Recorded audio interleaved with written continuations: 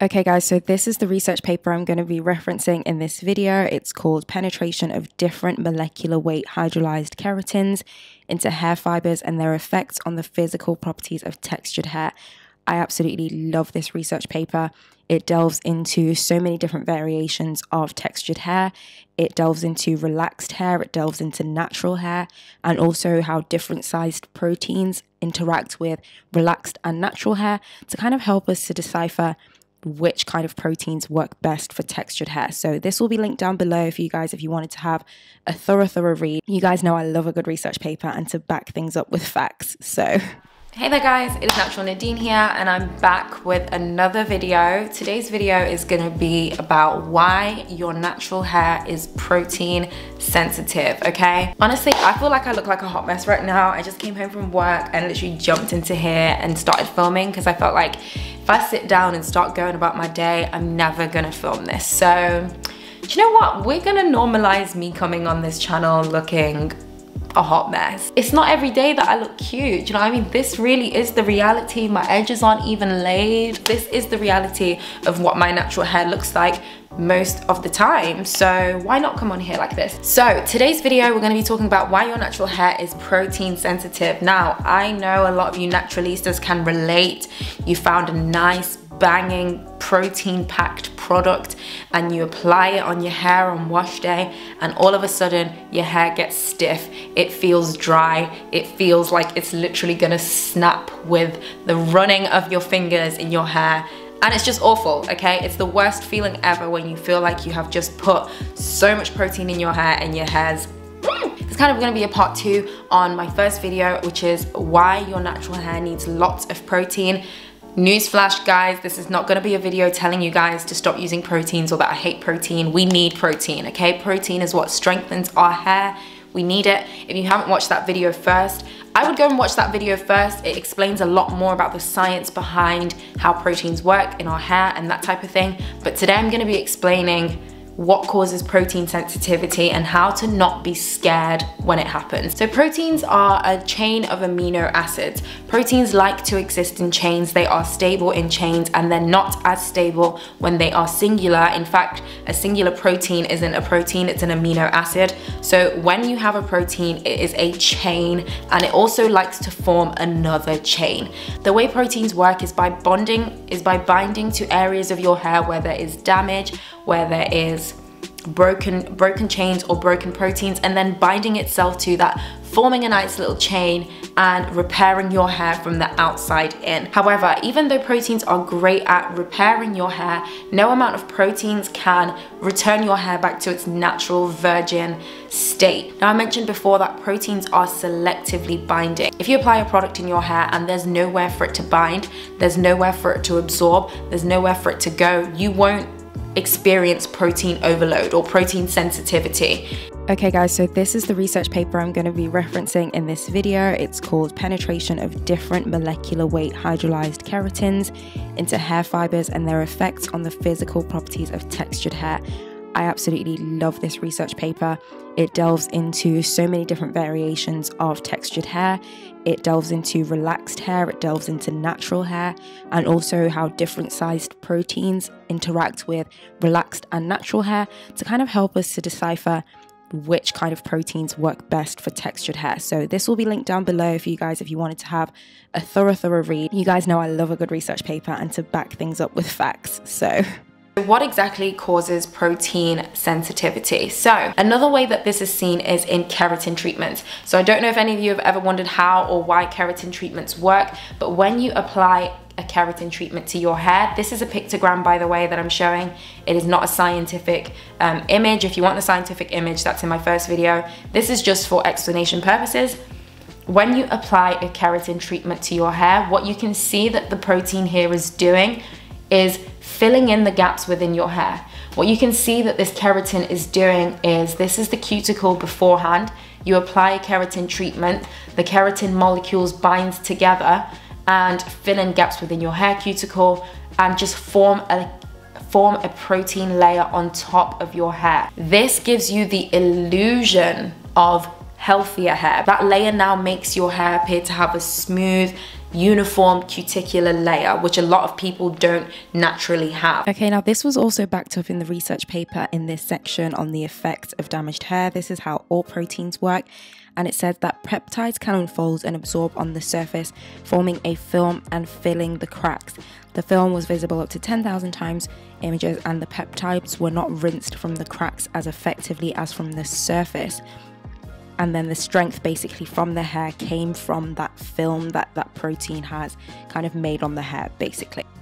And then as you wash them as you wash them out as that keratin starts to break down as that keratin starts to get washed out as those gaps within your cuticle and your hair structure start to come back the keratin treatment wears off. So that's exactly how proteins work. If you apply a large amount of protein to your hair this can cause your hair to feel stiff why? Because you have one, blocked your cuticles from allowing moisture to enter. This is exactly why people say there's a protein moisture balance. It's the fact that you have now got all this protein layered on top of your hair that one, you can't effectively moisturize your hair. Two, after you've applied all this protein, protein increases your hair's strength. But the stronger something is, the more stiff it tends to be. If you apply too much protein to hair that isn't properly moisturized, you're now gonna cause your hair to become stiff stiff and stiff. Now this was also observed within this study and it said with increasing humidity, differences in young modulus between the hairs was observed. Now obviously an increase in humidity is more moisture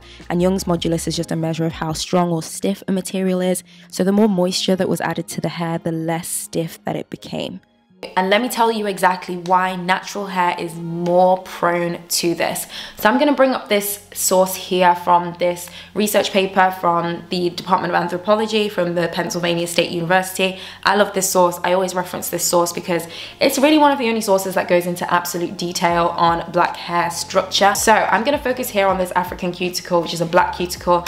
And I know a lot of people are like, not everybody's African. When I say black and African, I'm not saying that everybody black is African. I'm just saying that when you are categorizing genotypes in any scientific sense, there's really only three categories, African, Asian, and European, okay? As crazy as it sounds to box people in like that, that's how it works. Argue with your mum on this one because I ain't got the time. Guys, bear with me on this doodling because I'm really gonna try and just like make this very infographic for you guys so you can see and kind of what I'm talking about because sometimes it can be very difficult to explain.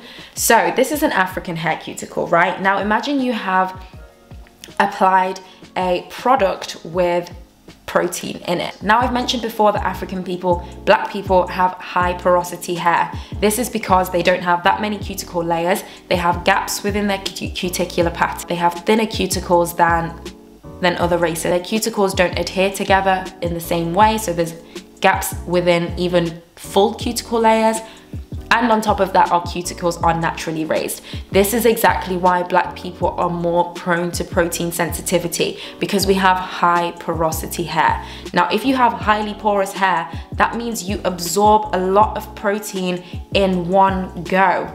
And because you have high porosity hair, there's so many places for this protein to bind onto and form a chain. Okay guys, this was also found in this research paper that relaxed hair was more prone to stiffness. Now we know that relaxed hair obviously has a higher porosity, meaning it absorbs the proteins even more. And it also goes on to say that Besides stabilizing the hair, proteins form salt linkages, and the peptide may also have created covalent bonds to some extent via sulfur sulfur and sulfur hydrogen linkages inside the hair. It then goes on to say that literature agrees that proteins that have a higher affinity to hair means they like the hair more if there's places for it to form these disulfide bonds and bridges, which in high porosity hair, like relaxed or natural hair, there is a lot. Look at this. This is me doing an infographic. Imagine these little circles that I'm applying here are proteins. There are so many spaces for proteins to come in, form a chain, bind onto and just make themselves at home. And this is exactly why natural hair can be prone to protein sensitivity, even relaxed hair more so. One, there's so many places for protein to bind to, and two, your hair absorbs lots of protein in one go, so it can automatically start to feel stiff. It automatically starts to feel like it doesn't move. And on top of that, if your hair is dry, if you apply a protein-based deep conditioner before you've moisturized, go. It can be a recipe for disaster. Now, that, now if you, I don't know if you've ever noticed, but white people and Asian products are always jam-packed with protein. They always have keratin this, keratin that, smoothing, strengthening, whatnot. They love protein in their hair products. And the reason why somebody with low porosity hair, like an Asian or an European person, is not prone to sensi protein sensitivity is because the protein has nowhere to go. So imagine you apply that same product the protein, one, it's gonna have to try and penetrate. It might find a little gap here, a little gap there, a little hole here for it to kind of penetrate into. But here's the problem. Protein is what provides our hair with strength, okay? Please, please, please don't cut protein out of your routine. Please, I'm literally begging you. I'm literally on my knees begging you. Don't cut protein out of your routine. Products like Olaplex, protein treatment.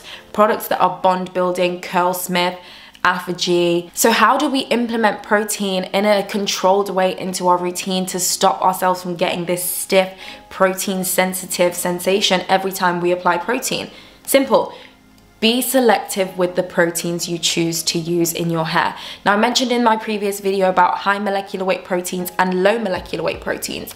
Keratin, for example, is a high molecular weight protein. For the most part, when you apply products with keratin to natural hair, it might absorb too much and it might not like it. Kind of in this infographic, if you have a massive protein, you are gonna be more prone to this buildup, you're gonna be more prone to this stiffness, and you don't even need to absorb that much for you to be able to get that stiff, protein sensitive sensation that we get. However, if you now switch to a protein like silk protein, which is a low molecular weight protein, this will take a lot more of that protein for you to get that buildup. So imagine they are little dots as opposed to large circles.